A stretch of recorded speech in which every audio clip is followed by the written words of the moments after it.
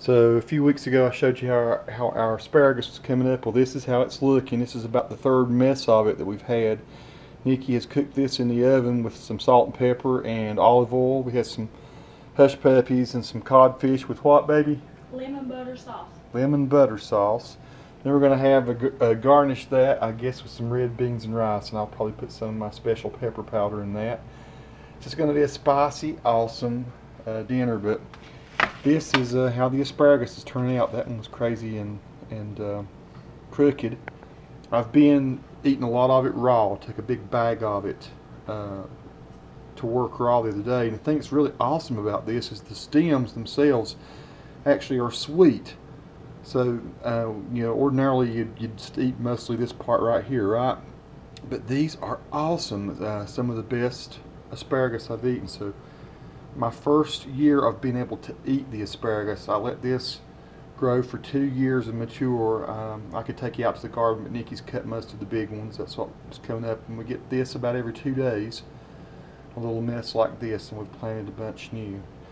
So there you go, folks. That's going to be my dinner tonight.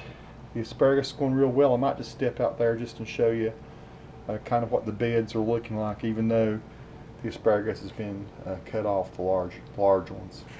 It's quite windy this evening, so there's going to be some noise, I'm sure, on this, but uh, we just had a really nice rain. I mean, it rained all day long. It's probably only cleared out maybe a couple hours ago. So now kind of beautiful uh, weather. Beautiful blue sky.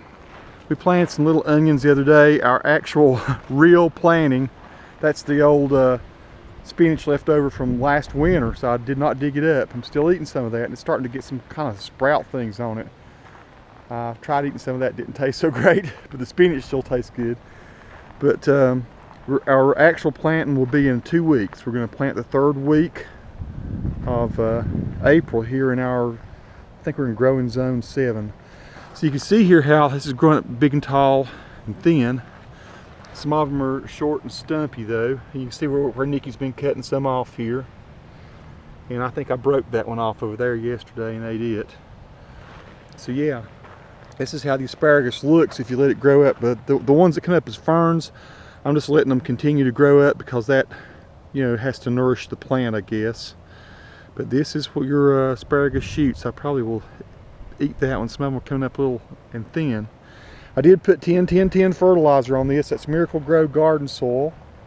Now this asparagus over here, which I broke the top off this one a while ago just to taste it, it tasted great. This was some we bought last year that said you could you could harvest it by the second season. And so I have been you know, eating some of those like that right there. You can see where I broke one off behind that one. I broke one off here and ate it. All this is uh, first year, there's a bunch underneath there. Then there's a bunch over here. This seven or so feet between these onions and the other asparagus. I'm gonna have a really big bed of asparagus soon. So that's how the garden's looking on April 15th. And it looks like we're really gonna have a lot of blueberries this year, which I'm really digging the thought of that. There's a bumblebee down here working on this one. It's pretty cool. Oh, it wanted to jump on me and get me. So yeah, got a lot of berries, little berry blossoms and everything on the blueberries this year. This has been an ongoing little project. I'm still working on it. We'll be finishing up soon. You can see kind of what I'm doing here. I'm trying to make a, a big graveled area and I'm putting some weed or grass barrier down between the, the gravel and the uh, and the, the grass and I reset this fire pit here. So this is all, this is some of the rocks that I had last year. I have to cut one piece to go in that gap over there. I don't want to really uh, cement this together. Kind of want it just to set in case we ever have to move it again. We just constantly decide new little cool things we want to do with our yard. So pretty soon, what I'm planning to do is, I have the hammock here. Um, planning on filling all this up with gravel kind of like in a big semicircle kind of thing here. And then I'm thinking about putting a couple porch swings, maybe as many as three out here so that when we have friends over they can sit in porch swings and eat.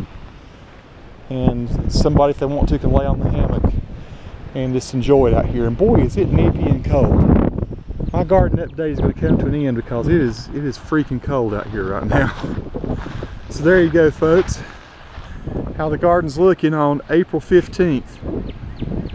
About two weeks before we start to plant in earnest. We're to put all of our peppers, our sweet potatoes, and our squash and things in the ground. So I got to rework all that that's over there that's been dug out.